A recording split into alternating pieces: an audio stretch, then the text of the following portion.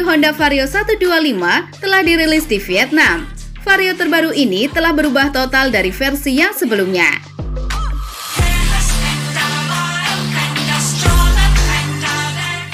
Menurut berita yang beredar, all new Honda Vario 125 sudah tidak memakai rangka ISEF. Honda telah belajar dari masa lalu dan ingin mempertahankan kastanya sebagai produsen motor. Untuk soal desain, kini berubah total baik bagian depan sampai ke belakang. Tak hanya soal desain, pencahayaan dan fitur pun juga sudah di-upgrade ulang. Melihat nampak bagian depan pada bagian kepala sang motor, desainnya terinspirasi dari Supra GTR 150 yang beredar di Vietnam, di mana mempunyai desain yang sporty, layaknya sebuah lubang udara mirip Honda Supra GTR.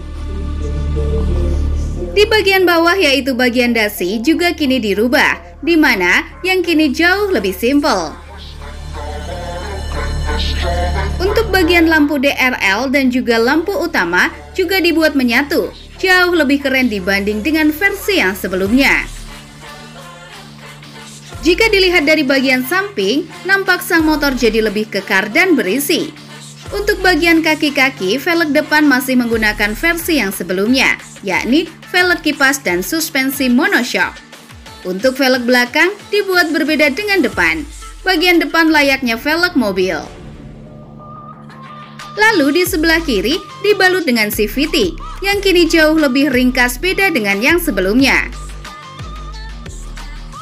Lanjut ke bagian belakang, yaitu bagian stop lamp. Vario 125 masih menggunakan stop lamp model yang sebelumnya. Stop lampnya sendiri tentu sudah menggunakan LED. Untuk soal spesifikasi, Vario 125 2024 ini masih sama seperti yang sebelumnya, Sayangnya, untuk soal harga motor ini masih belum diumumkan secara resmi di Vietnam.